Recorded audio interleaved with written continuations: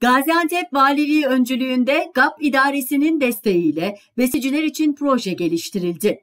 Hijyenik ortamda süt sağımının yapılması, aynı zamanda kalite ve verimin artırılması için 242 aileye süt sağım makinesi dağıtıldı. Gaziantep ilimizde tabii 2014-2020 yılları arasında 77 projeye destek vermişiz ve bu projelere yaklaşık 37 milyon TL para aktardık. Dolayısıyla bugün aslında dağım, dağıtım töreni gerçekleştirdiğimiz bu proje bu kapsamda desteklenen bir proje olmuştur. Dağıtım töreni Şahinbey ilçesine bağlı Burç köyünde yapıldı.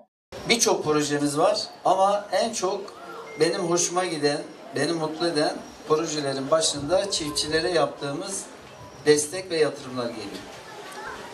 Çünkü bu hem ihtiyaç olan bir şeye destek olmak hem de üretim artışını sağlamak. İnşallah bundan sonra hem daha hijyenik bir ortamda sütler sağlanacak, daha temiz bir ortamda korunacak hem de hanım ablalarımız daha az yorulmuş olacak.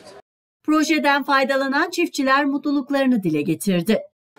İneğimi verdin, makinamı verdin, yemimi verdin. Daha ne isterim sizlerden?